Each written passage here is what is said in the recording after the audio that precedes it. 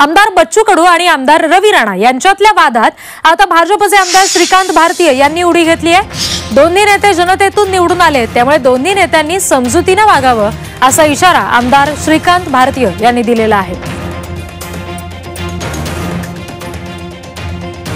दोन्ही नेत्यांनी समजदारीने वागलं पाहिजे अशी त्यांना ज्यांनी ज्यांनी निवडून दिलं त्यांची अपेक्षा आहे. राजकीय क्षेत्रातला नेता कोणी असू दे.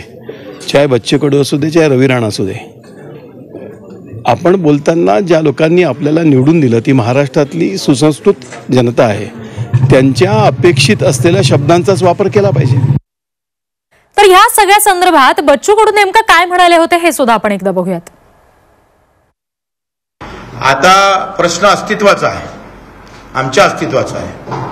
आणि इथं मंत्रीपद महत्वाचं नाही विकास थोडंसं आपण बाजूला ठेवू पण आमच्या अस्तित्वालाच कोणी जर आता स- घरातलाच माणूस जर बोट टाकत असत तर ते बोट छाटण्याचं काम बच्चूकडू केल्याशिवाय राहणार नाही. आणि मग यासाठी एक तारखेला आम्ही राणाला वेळ दिलेला आहे. मराठ्यांची तळपती तलवार म्हणजे